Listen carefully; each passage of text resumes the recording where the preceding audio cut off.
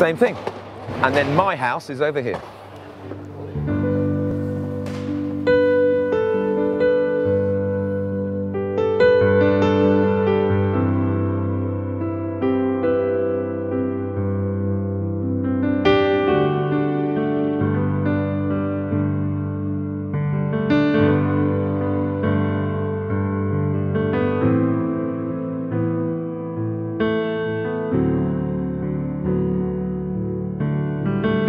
Right, so here we are on my little station here.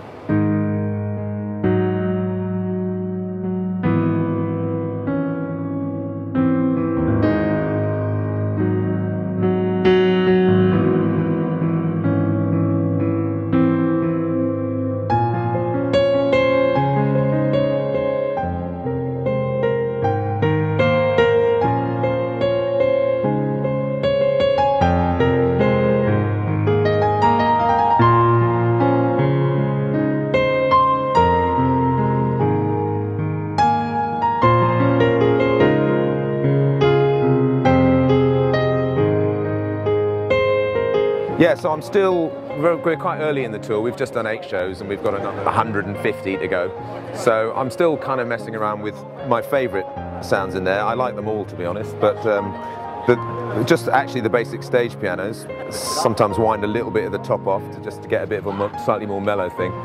Or I've been messing around with some of the more concert grands, which I like.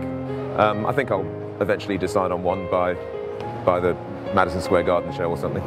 But yeah, it's uh, I'm, I'm still not quite sure what my favourite is, but the feel is beautiful. I love I love playing it, and it's kind of important to have that interaction with Martin when we're doing those songs.